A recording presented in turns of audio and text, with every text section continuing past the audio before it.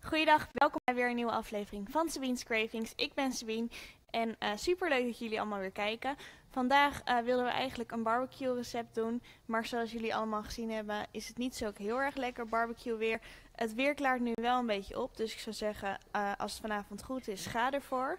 Um, maar ik ga vandaag een roerbakreceptje maken. Ik ga een Aziatisch roerbakreceptje maken. En dit recept is ook nog eens een budgetrecept.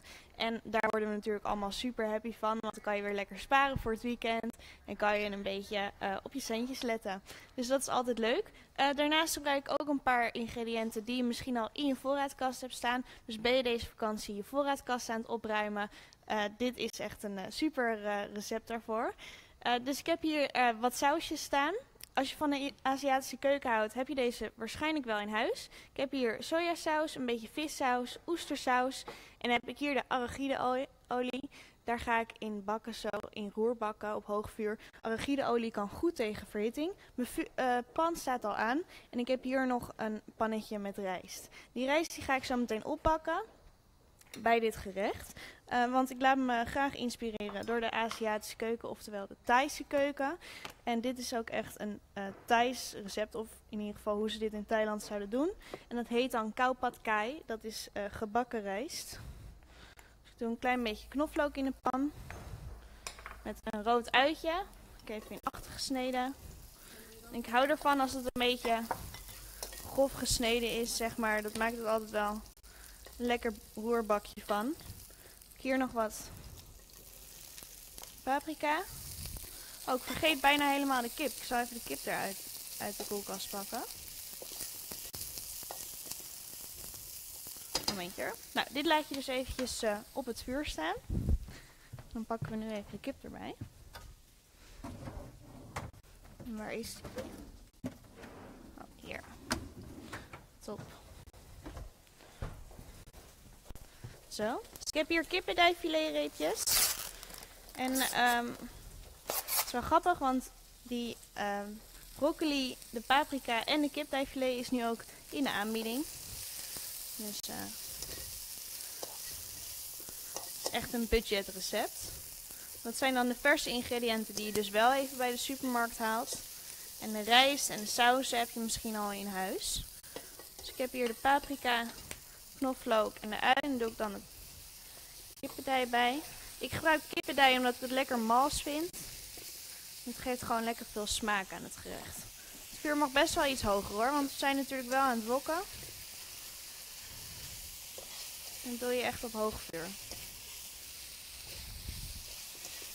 Zo. Nou, die broccoli roosjes heb ik net al een klein beetje geblancheerd. Dus die zijn nog niet helemaal uh, gaar, maar ook niet rauw meer. Kunnen zo meteen doorgaren in het gerecht. Zo.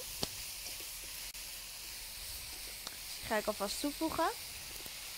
Ik bewaar de taugé voor het laatst, want ik vind het lekker als die taugé nog een beetje plakkerig blijft. Dit ziet er toch echt al super vrolijk uit. En het ruikt lekker. En het heerlijke van de Aziatische keuken is ook wel dat het gewoon echt super snel klaar is. Je hoeft alleen even de rijst te koken. Misschien heb je die nog van de vorige dag over. Als je rijst bewaart moet je wel opletten, want rijst is best wel een bederfelijk product. Dus uh, zet hem vooral in de koelkast. Als je hem bewaart en uh, de volgende dag kan je er zeker nog mee bakken. Kan je er gewoon zo'n lekker roerbakje mee maken. Zo, blijven omscheppen. Zodat het niet... Uh... Dan gaan we nu alvast wat saus toevoegen. Een keer een klein beetje oestersaus. Ongeveer twee eetlepels. En waarom ik eerst de broccoli brancheer is omdat die anders misschien niet helemaal gaar wordt. En we willen wel dat hij, we willen dat hij een bijt heeft. Maar hij moet wel een beetje gaar worden. Want blauwe broccoli is ook niet echt lekker. Zo, een beetje oestersaus dus. klein beetje vissaus. Let op met vissaus, want de smaak kan nogal overheersend zijn als je daar te veel van gebruikt. Zo'n klein beetje.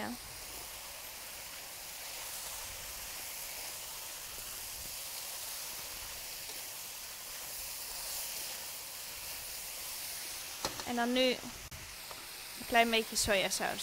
Ik gebruik dus geen peper en zout. Die sojasaus is best wel zout van zichzelf. Vissaus is ook best wel zout. Oestersaus is een beetje zoetig. Zo. Nou, dan heb ik hier de rijst. Die ga ik er schepje voor schepje bij doen.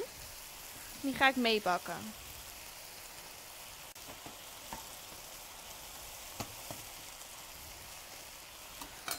Ik hou zelf, of nou ja, ik hield vroeger niet zoveel van rijst. Maar toen ging ik gebakken rijst eten. En daar ben ik echt dol op. Er zit gewoon echt veel meer smaak aan dan.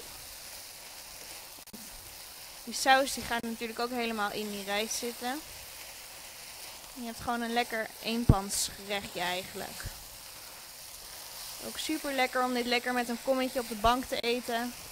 Een filmpje erbij. Het regent buiten. Nog een klein beetje rijst erbij.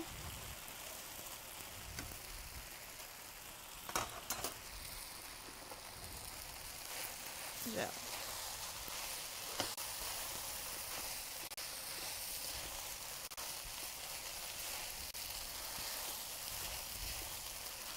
Lekker alles op hoog vuur. Die broccoli behoudt ook mooi zijn kleur zo.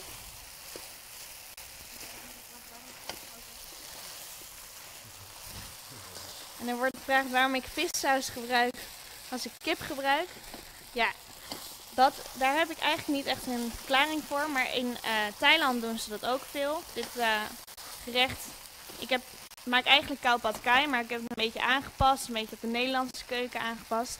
En in khao pad kai wordt ook kip ge gebruikt en uh, vissaus. Die smaken vullen zich gewoon echt perfect aan. Vissaus is ook niet echt dat je zegt van... Oeh, dit is echt vis, een vissmaak, zeg maar. maar het is gewoon echt een sausje en het heet vissaus. En um, ja, het past er gewoon perfect bij. Soms worden hier ook nog garnalen bij gedaan bij dit gerecht. Is maar net wat je lekker vindt. En dat kan ook allemaal prima.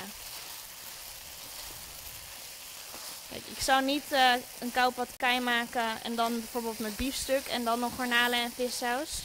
Dat is dan weer anders. Maar met de kip kan dat allemaal prima. Zo, nou dit begint er al super goed uit te zien. Ik ga een kommetje erbij pakken. Ik heb hier een prachtige pom. Dan gaan we dat daar gewoon lekker in doen. Als laatste doe ik nog de taugede doorheen. Ik vind het fijn als hij een beetje knapperig blijft.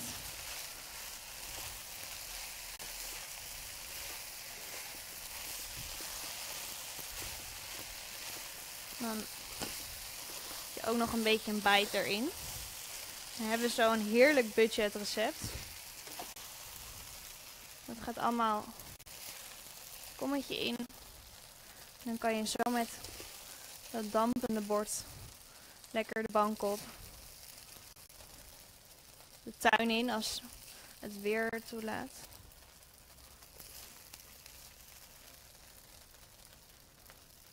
Zo. genieten. Nou, ik ga natuurlijk even proeven. Eh, het recept komt er bovenaan staan. En eh, morgen zijn we er natuurlijk weer. Morgen gaat Lucie weer een super lekker recept maken. En um, nou, ga er allemaal lekker van genieten. Fijne dag en tot morgen. Hmm.